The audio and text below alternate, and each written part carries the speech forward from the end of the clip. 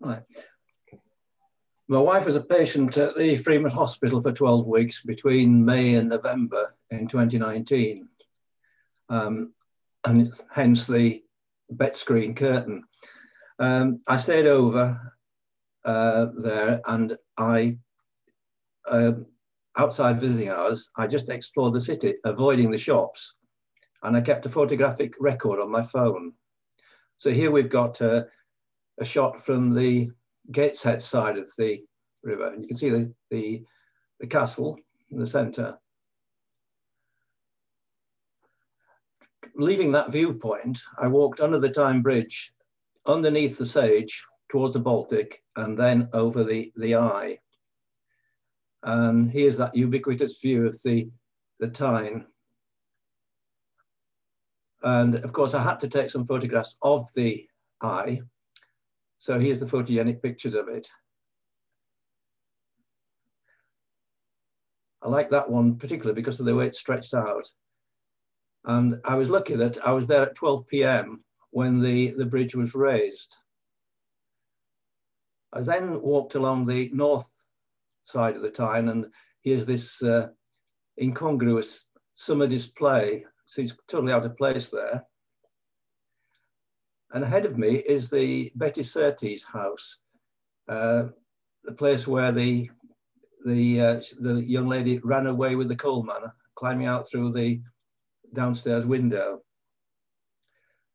Up behind the Betty Surtees is the Castle Keep, and it sort of dates back to 1127. Henry II built it. But the place I wanted to go up to was onto the top, the, the, Victorian battlement, and from there you can see the, the two saints. So you've got Nicholas and James. The football, well, you've got the cathedral and the football stadium. So you've got God and Mammon. And just below, the, there's a 23 meter stretch where the railway runs through the, the old castle walls. I think at one stage they wanted to demolish the, the castle, but anyway, the railway is just below between the Black Gate and the, the keep. From there, I walked over to across the Grey Street, where you can see the, the famous memorial. And I descended down towards the Tyne. I went through the back streets and I, I got rather surprised. I found uh, this particular building, the Holy Jesus Hospital.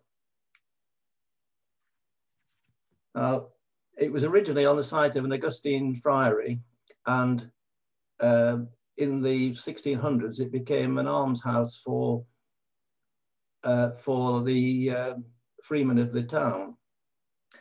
And if you go on a bit further, you can see the, the, the um, doorway and the, the heading. Well, this was all new to me. And then I went, I descended further and I found another historic building. The original Trinity House, um, 1505, it was established there for the Association of uh, Fishermen so we know about Trinity House and light houses and so on since that day. Having looked into the um, yard of the place, I, I, turned around and looked along the street. And there were one of these street views where the, the sage appeared again. Well, this was my next street um, in the residential area. And I really think that in a competition, we should call it Binfinity. further over now, we're coming just to the edge of uh, Newcastle, and the stepping stones lead you across into Jesmond Dene, which was the garden of Lord Armstrong, the industrialist and armament manufacturer uh, from Victorian times. So wonderful place. It's uh, now, now a public park. It's got waterfalls, rock establishments, and there's an old mill. Across the valley from the old mill, I found, uh, well, oh, still the workings there.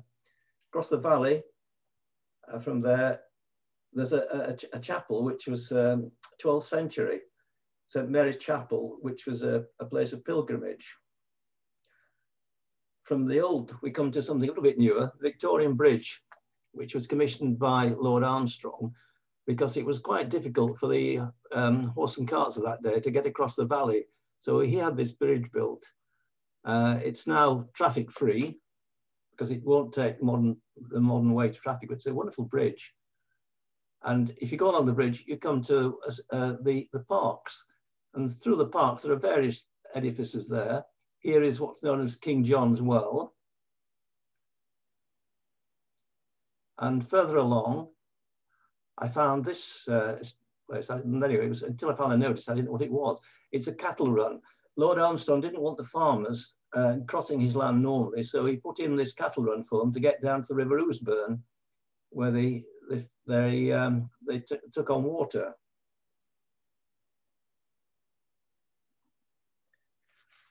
Well, then I discovered this ancient wall, um, windmill, which was going back to the 18th century or before the uh, 18th, before the uh, 18th century. Uh, uh, well, no, it's, it's medieval one, the windmill. And at the very end, it's probably one of the oldest buildings in Newcastle. It's the House of Adam of Jesmond. It was built in the 12th century. And Adam went off to fight in the Crusades, never came back. So we that's really a bit of history around Newcastle. And I ended up finally in the uh, Hancock Museum, and so did the Diplodocus uh, from the Science Museum. And there's a great collection of uh, fossils and, um, and uh, dinosaurs. And it's a superb museum. And this is where I ended my walk with Tyrannosaurus Rex.